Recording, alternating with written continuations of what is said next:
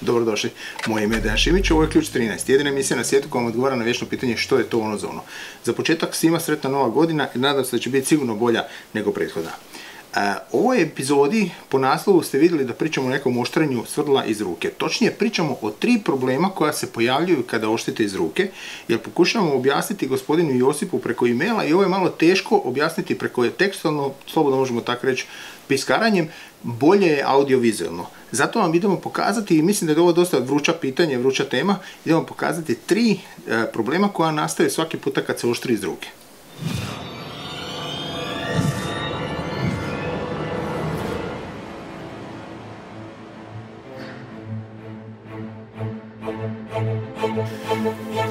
Kada dođe do oštrenja svrdla, pojavljaju vam se tri problema. Mi ćemo vam dati objašnjenje i pokazat ću vam šta se dešava, zašto se dešava sa tih tri problema. Međutim, dobit ćete četvrto gratis. Znači, e, točnije objasnit ćemo nešto što velika, velika većina majstora e, jako zaboravi napraviti, a jako je bitno u određenim specifičnim situacijama, isto kod oštrenja svrdla. Idemo krenuti redom. Imamo, znači, broj jedan problem koji se dešava sa oštrenjem svrdla. Prvi problem je vezan uz oštricu, samo oštricu, znači o čemu se radi.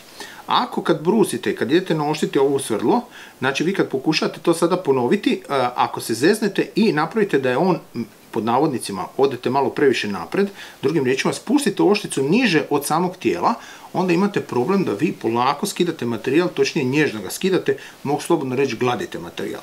Međutim, ako kontra napravite, znači odete previše nazad, onda se dešava drugi efekat, a to je da agresivno skidate materijal. Na prvu će vam se to jako sviđati, bit će vam super, on agresivno skida, više materijala skida, međutim imate jedan problem, ako bušite cijev, znači i kod probušite prvu stijenku pa idete drugu stijenku, može se često desiti da svrdlo pukne zbog toga, jer će se jako lagano zaglaviti u ovoj situaciji, ne trpi baš ovo bušenje iz ruke. I tu nastaje problem kod te oštrice, znači ako krenete u agresivno, agresivno i naoštrite. Drugi problem kod svrdla je takozvani kut, to je 118 kut. Znači standardni 118 kut je manje više na svim svrdlima, jedino svrdla za inox i za plastiku imaju 135 i imate neke proizvođače koji rade 140 kut, to je isto malo još čak agresivniji kut nego 135. Međutim, radi se o sljedećem. Znači, nemojte pokušavati napraviti ovdje sada 118, a ovdje kad ste oštrili onda da se spustite malo niže ili čak obrnuto da napravite više. Drugim riječima pokušajte napraviti, ponoviti taj kut 118 stupnjeva ili 135 ako je bio 135. Znači, nemojte pokušavati i napraviti grešku da su vam različiti kutevi, jer u toj situaciji samo jedna, jedna oštica će bušiti, ova druga ništa neće raditi. Vi ste nju samo eto tak malo naoštrili za bez veze. I treći problem je onaj problem koji u stvari najviše pravi problema i koji će vam svi majstori, točnije proizvođači alata, srla za e, metal, reći da je u stvari to najveći problem, a to je simetrija. Vi želite naoštiti svrdlo što više simetrično. To znači i da oštica bude oba dvije jednak, znači da ne, nemamo ovo, nego da stoje jednako i da oba dva kuta budu 118 ili 135 već koji treba biti kut. Znači vi želite da dobijete savršenu simetriju i ono što je još bitno kod te simetrije ne želimo da se dešava ovo. Znači da nam jedna oštica višlja u odnosu na onu drugu. To je izuzetno bitno i zato sam rekao da to treće je jedno od težih stvari za napraviti i velika, velika većina ljudi u stvari tu napravi, ono, mogu slobodno reći, glavnu grešku. Upravo zato uvijek obratite pažnju znači kod oštrenja da ošticu izvučete najbliže onoga što je bila tvornički, znači na položaj gdje je bila, znači da ne odete previše naprijed, previše nazad, pazite na taj kut da ga ponovite i pazite najviše na tu simetriju da dobijete što veću simetriju, jer u protivnom samo jedna strana svrdla rbuši. Ova druga ništa ne radi. I sada Četvrta stvar koja je vrlo bitna kod oštrenja svrdla da razumijete e, koju većina, većina majstora koja jako dugo oštri svrdla isto ne poštuje i ja isto nisam na prvu znao, čak mi nisu naučili, to mi nikad nisu spomenjali u školi da se to tako treba raditi, ali proizvođači svrdla to napominju da je to vrlo bitna stvar, a radi se o sljedećem.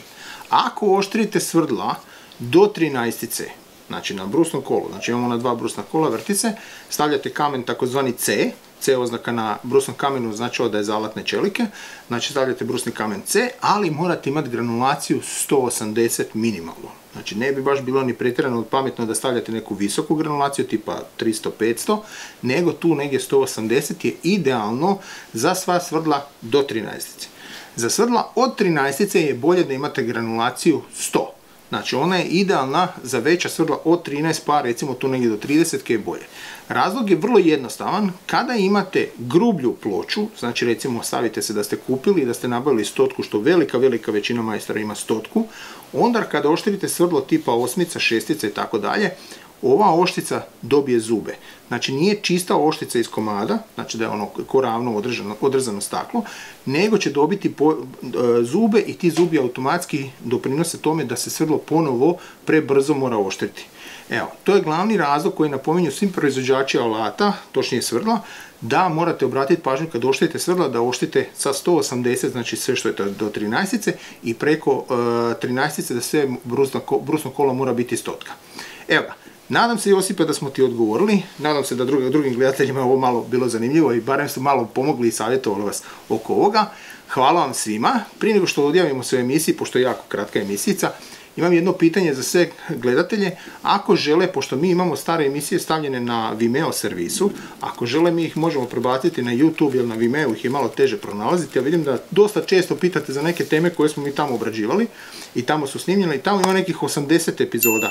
Ako želite mi ćemo prebaciti te epizode na YouTube, ali normalno nemojte misliti da je to nešto najnovije, jer to je snimljeno praktički prije 5, 7, 8 godina. Evo, ako vam je interesantno, dole like, napišite da bih željeli da stavimo retro epizode, pa ćemo prebaciti na YouTube. Hvala svima, još jednom sretna nova godina, sve najbolje u ovoj godini. Doviđenja, vidimo se u idućoj epizodi.